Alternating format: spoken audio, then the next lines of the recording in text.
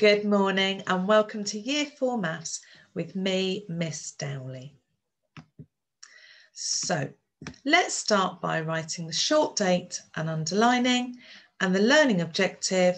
I know what a fraction is and can find fractions of shapes and amounts and underlining. So our first activity is can you draw sharing circles to show the fractions of amounts below?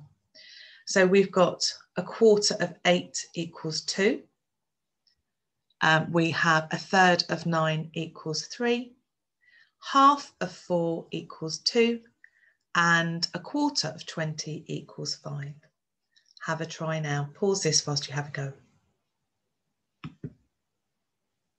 So I hope you got on okay with that activity. So today we're going to look at fractions of a shape.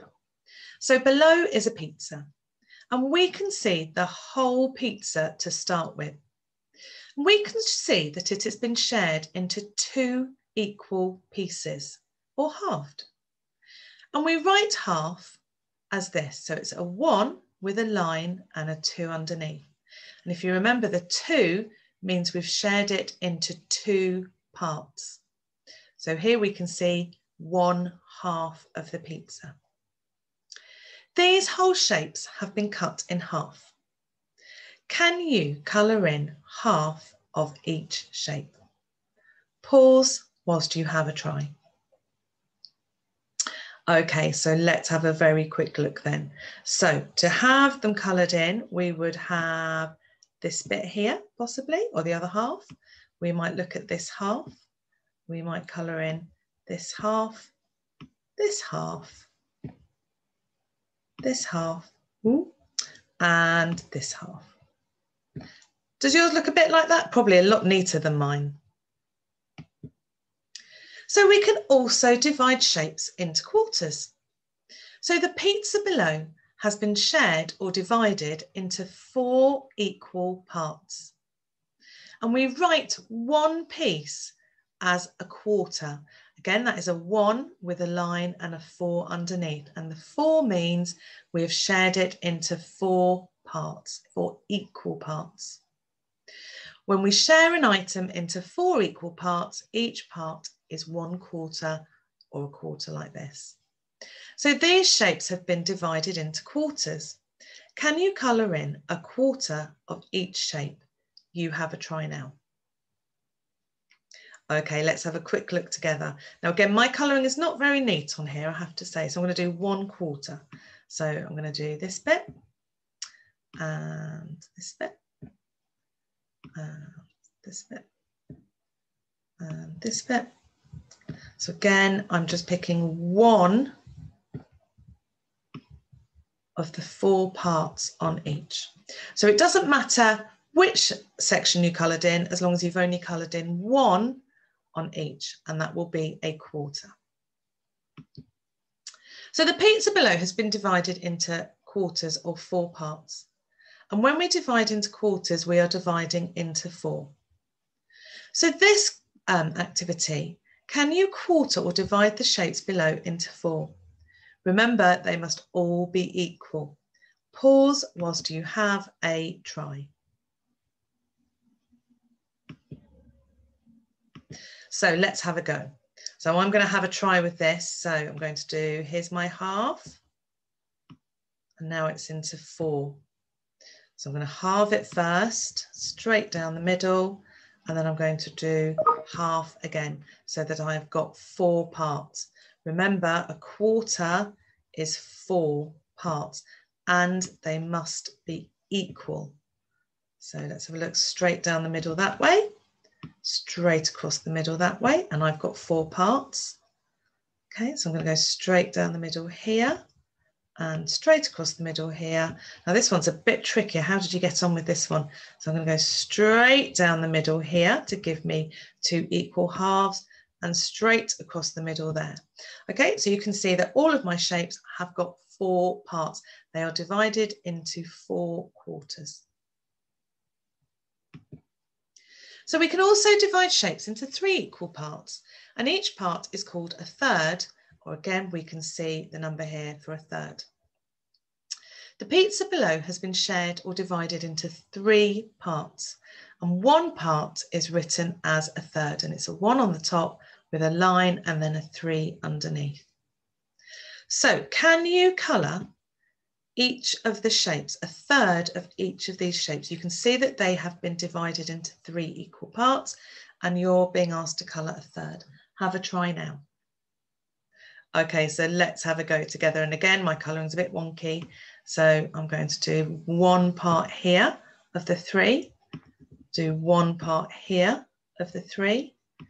I'm going to do one part here of the three, one part here of the three, and one part here of the three.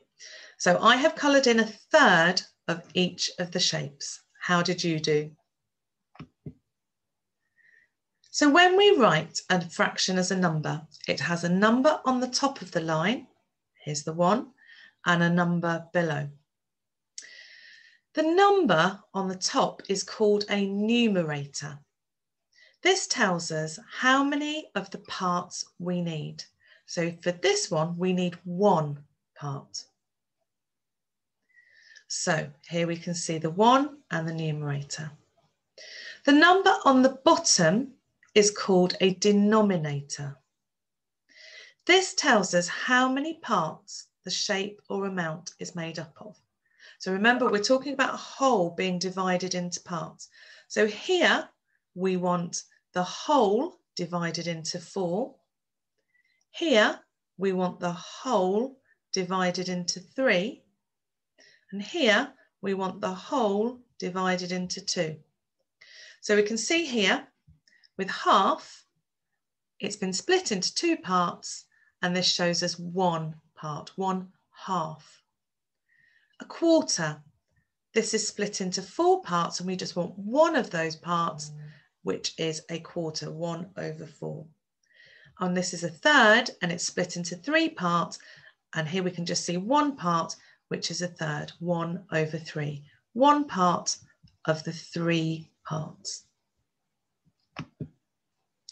So we've looked at unit fractions.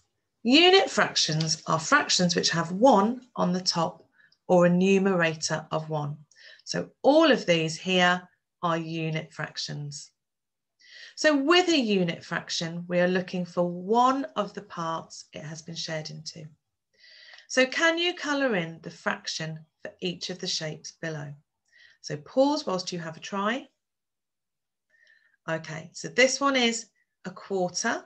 So I would just colour in one section of the four. This one is half. So I would colour in half of the shape. This one is a quarter. So I'm going to colour in one quarter of the shape. And this one is a third. So again, I'm going to colour in one third of the three parts. So let's look at when we want more than one part. So below, the circle has been cut into quarters, so there are four pieces, but three of them have been coloured in. So we write this as three quarters because we have three of the four parts. So we've got the three on the top, which tells us how many of the parts we want, the four tells us how many parts there are. There are four parts and we want three of them. So we would write this as three quarters. Can you colour in three quarters of each of these shapes? Pause whilst you have a try. Okay, let's have a quick go together. So three quarters, there are four parts. I want three of them. So I'm going to colour in and then very quickly colour those in. So there's this one. Again, I want three parts, so three quarters. So I'm colouring in three sections. Your colouring will be a lot neater than mine. And again, I want three quarters. So I am colouring in three of the four parts. I hope yours look like mine, a lot neater though. Okay, so this one is over to you. Can you colour the fractions of each shape? Pause whilst you have a try.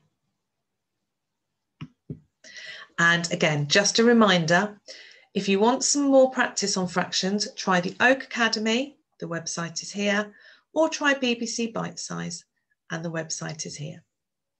Thank you.